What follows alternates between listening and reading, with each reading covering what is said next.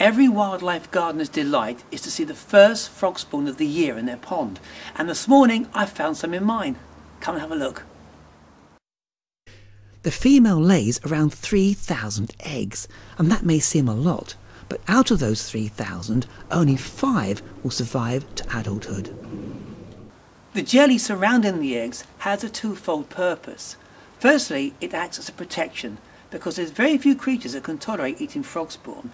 And secondly, the nutrient in the jelly will provide the tadpoles with their very first meal. And over the coming weeks, I will be following the development of these eggs right the way through into adult life.